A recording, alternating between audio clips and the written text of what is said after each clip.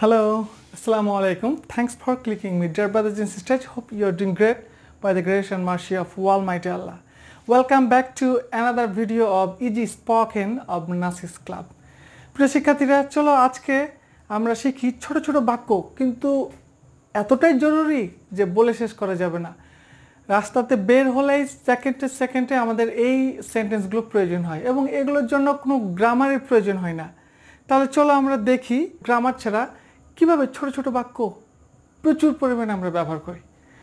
আমরা এখানে দেখতে পাচ্ছি স্টে স্ট্যান্ড শিট এভাবে আমরা হাজার হাজার ওয়ার্ড পাবো।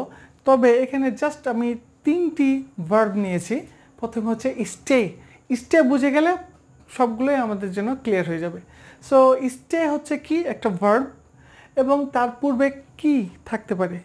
অবশ্যই তার পূর্বে ইউ আছে এবং সেটা হিডেন যার কারণেই এই সেন্টেন্সগুলোকে আমরা বলি ইম্প্যারেটিভ সেন্টেন্স ইম্প্যারেটিভের বৈশিষ্ট্যই হচ্ছে যে আমি তোমাকে বলছি, বসো, খাও, ঘুমাও, সেখানে যাও, ভিতরে যাও, এখানে থাকো, ওখানে থাকো।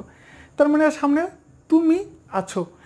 সো আমরা এখানে ইউ বসাইনি, কারণ ইম্পারেটিভ সেন্টেন্স তো ইউ এর পরে রয়েছে স্টেই মানে হচ্ছে ভার্ব এবং ভার্বের পরে যেটা বসে সেটা হচ্ছে হয় অবজেক্ট বসবে, আর না হয় এক্সটেনশন হিসেবে অনেক কিছু বসতে পারে অ্যাডভার্ব বসতে পারে, অন্য নাউন বসতে পারে, অনেক কিছু বসতে পারে।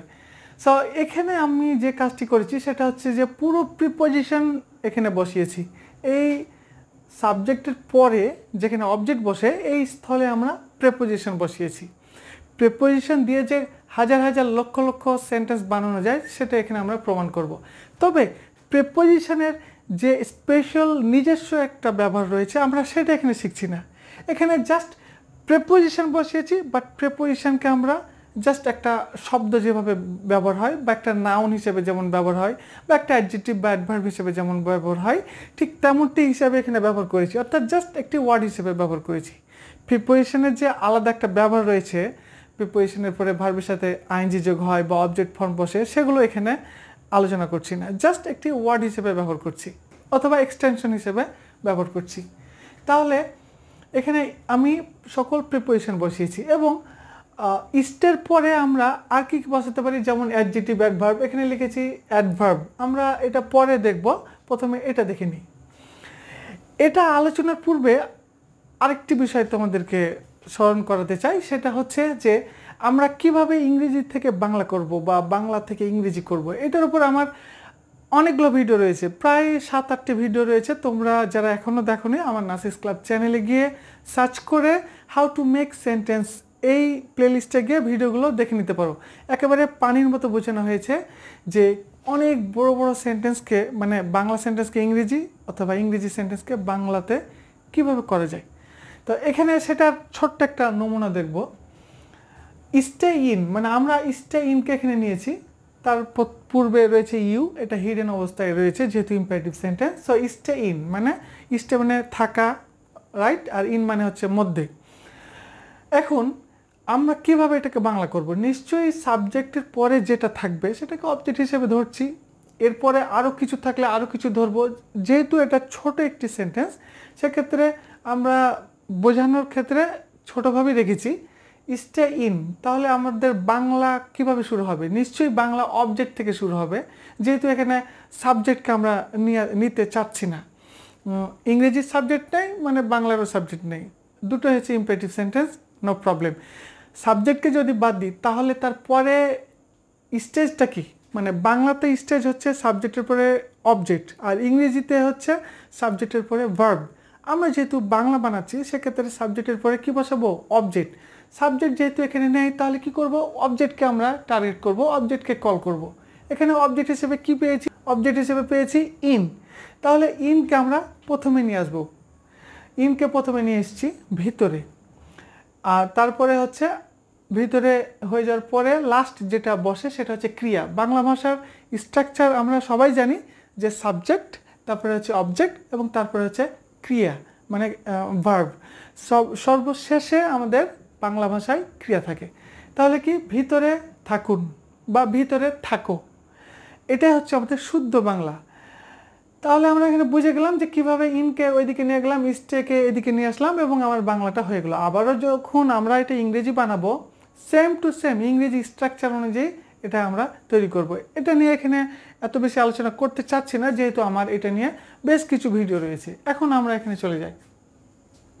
স্টে ইন তার মানে আমাকে প্রথমে অবজেক্টের অবজেক্টকে কল করতে হবে অবজেক্টের বাংলা বানাতে হবে। তাহলে ইন মানে কি? ভিতরে। তাহলে ভিতরে থাকো, বাইরে থাকো স্টে মানে থাকা সাথে থাকো, তারপরে যেমন স্টে ওয়ান মানে লাইনে থাকো স্টে ওয়ান লাইনে থাকো বা পজিটিভ থাকো ক্ষেত্রে স্টে ওয়াপ মানে বিরত থাকো বা দূরে থাকো স্টে ব্যাক মানে পিছনে থাকো স্টে ইন ফ্রন্ট সামনে থাকো স্টে বিসাইড পাশে থাকো স্টে বিহাইন্ড পিছনে থাকো স্টেপ ফর মানে পক্ষে থাকো যেটাকে বলি স্টেপ ফর আবার স্টে এগেনস্ট যদি বলি তাহলে বিপক্ষে থাকো বিপক্ষে যাওয়া বিপক্ষে থাকা। স্টে আপ মানে জাগ্রত অবস্থায় থাকো স্টে আপ তারপর হচ্ছে স্টে ডাউন আমরা স্টে ডাউন বলতে নিচে থাকো স্টে আন্ডার বলতে পারি। অনেকগুলো প্রিপারেশন আমরা এখানে যোগ করতে পারি। এছাড়াও আমরা প্রিপারেশন বাদে যদি মনে করি যে আমরা কিছু অ্যাডভার্ব বা অ্যাডজেক্টিভ বসাবো সেটা বসাতে পারি। তাহলে কি স্টে হেয়ার স্টে হেয়ার বা stay there stay on right stay on left stay on line তার মানে হচ্ছে যে এখানে থাকো, আমার যেহেতু এটা অবজেক্ট হেয়ার তাহলে আমরা এখানে লিখতে পারি, দেখাতে পারি, সেটা হচ্ছে স্টে হেয়ার স্টে দেয়ার তাহলে কি হচ্ছে? এখানে থাকো, সেখানে থাকো, ডানে থাকো, বামে থাকো লাইনে থাকো হাজার হাজার শব্দ দিয়ে আমরা হাজার হাজার বাক্য বানাতে পারি। জাস্ট ছোট্ট এই প্রসেসটা জানার মধ্যে দিয়ে। প্রিপারেশান দিয়ে যে কি পরিমাণ কথা বলি, সেটা নিশ্চয়ই তোমরা এতটুকু দেখেই বুঝতে পেরেছ। এখন আমরা যদি ইস্টের পরিবর্তে স্ট্যান্ড দিই, তাহলে ঘুরে সেম টু সেম আমরা ফর্মুলা এখানে ফেলে দিতে পারি। সেটা হচ্ছে ভিতরে দাঁড়াও, বাইরে দাঁড়াও, সাথে দাঁড়াও স্ট্যান্ড ওয়ান স্ট্যান্ড ওয়ান এটার মিনিং আসছে না, আমারও মনে আসছে না, এটা বাদ দিলাম। বা যেটা যাবে না মানে যেটা মিনিং করতে পারব না, সেটা থাক, দরকার নেই। সবটারই যে মিনিং হবে সেটাও না। So stand off stand off off মানে আসলে বিচ্ছিন্ন অবস্থা বোঝাতে বোঝাই তার মানে দূরে থাকা বা লাইনের বাইরে থাকা। স্ট্যান্ড ব্যাক মানে পিছনে দাঁড়াও, সামনে দাঁড়াও, পাশে দাঁড়াও পক্ষে দাঁড়াও। স্ট্যান্ড এগেনস্ট বিপক্ষে দাঁড়াও।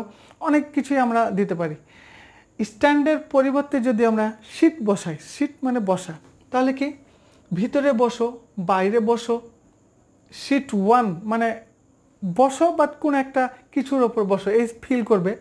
সিট ওয়াপ সিট অফ আমার এই মুহূর্তে এটার অর্থ মনে আসছে না, বাদ দিলাম। তারপরেও সেন্স যদি কাজ করে সিট ওয়াপ মানে বিচ্ছিন্ন অবস্থার ক্ষেত্রে বোঝায় বা বাইরে থাকো, বাইরে বসো, সেক্ষেত্রে এটা আমরা প্রয়োগ করতে পারি।